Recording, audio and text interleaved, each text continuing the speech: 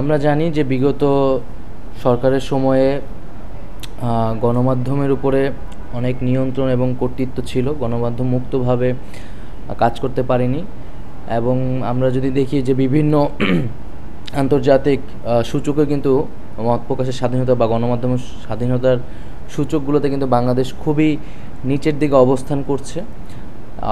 এবং এবং সাংবাদিকতার মানও কিন্তু বাংলাদেশে খুবই নিম্নমানের হয়ে গেছে, কমে গেছে। তরুণরা, মেধাবীরা কিন্তু সাংবাদিকতা যেতেও এই জন্য অনাগ্রহী। তো সেই জায়গা থেকে আমরা চাবো অবশ্যই যে একটি নিরপেক্ষ এবং জনগণের পক্ষে থাকবে এরকম একটি গণমাধ্যম বা সাংবাদিকতা বাংলাদেশে প্রতিষ্ঠিত হবে। বাংলাদেশ এবং বাংলাদেশের জনগণের প্রতি দায়বদ্ধ থাকবে। এবং গণমাধ্যমে যে আমরা বলি যে স্বচ্ছতা জবাবদিহিতা সেই বিষয়গুলো নিশ্চিত করতে গণমাধ্যম কাজ করে যাবে।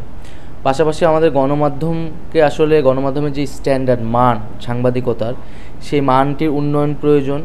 সেই জায়গা থেকে বেতন কাঠামো থেকে শুরু করে আমাদের যেই হাউস পলিসিগুলো রয়েছে সেগুলো নিয়েও গণমাধ্যমের ভিতরেই আসলে পর্যালোচনা প্রয়োজন। যাতে করে আমাদের তরুণরা আগ্রহী আগ্রহী হয় গণমাধ্যমে। গণমাধ্যম কর্মীদের নিরাপত্তা বাংলাদেশে একটা বড় সং মানে উদ্বেগের জায়গা ছিল যে বিভিন্ন সময় গণমাধ্যমের কর্মীরা সংবাদ সংগ্রহ করতে গেলে কিন্তু হয়রানির শিকার হতো, মামলা হামলার শিকার হতো এবং আমাদের এবং আমাদের এই অভ্যুত্থানের সময় কিন্তু আমা- আমরা কয়েকজন গণমাধ্যম কর্মী আসলে শাহাদাত বরণ করেছেন। তো আমরা সেই গণমাধ্যম কর্মীদের নিরাপত্তাটা নিশ্চিত করতে চাই। এবং সার্বিকভাবে আমরা যে আইন রয়েছে অনেকগুলো আইন নিয়ে আসলে প্রশ্ন আছে সমালোচনা আছে যে আইনগুলা মানুষের মত প্রকাশের অধিকার এবং গণমাধ্যমের স্বাধীনতা রোধ করতে ব্যবহার করা হয়। সেই আইনগুলাও আমরা বাতিল অথবা সংশোধন করে যে গণমাধ্যম যাতে মুক্তভাবে কাজ করতে পারে সেই বিষয়টি নিয়ে কাজ করছি। আমরা আহ, সাগররণীর হত্যাকাণ্ডর পুরো বিষয়টি উদ্ঘাটন করতে চাই এবং জড়িতদের সাথে যেই বিচার, যারা জড়িত তাদেরকে বিচারের আওতায় আনতে চাই। আমি কিন্তু দায়িত্বের প্রথম দিনই এই বিষয়টি বলেছিলাম যে সাগররণীর যেই হত্যাকাণ্ডের বিচার নিয়ে আসলে বাংলাদেশে প্রহসন করা হয়েছে। আমরা যেহেতু একটা সংকটকালের মধ্যে আছি, বাংলাদেশে আইন শৃঙ্খলার পরিবেশ এখনও সম্পূর্ণভাবে নিয়ন্ত্রণে আসেনি এবং দেশে বন্যা সংকট চলতেছে।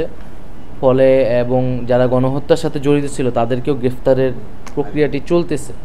তো এই সার্বিক সব কিছু মিলিয়ে হয়তো এখনও সাগররণীর বিষয়টি আহ, আহ, সরকারের আর কাজের আওতায় এখনও আসেনি।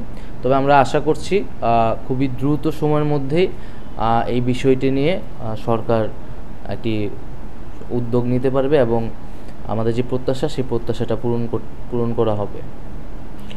আমরা তো এখানে গত সরকারের গোয়েন্দা সংস্থার উপর আসলে এই ধরনের অনেক অভিযোগ অভিযোগই রয়েছে এবং সেই জায়গা থেকে আসলে তাদের পলিসিগুলো কি হবে সেটি নিয়ে আমাদের মধ্যে আলোচনা হচ্ছে এবং আমরা আসলে সাংবাদিকদের সাথে কথা বললে আরও স্পষ্টভাবে বুঝতে পারব যে তারা কোন ধরনের ডিফিকাল্টিস আসলে ফেস করে।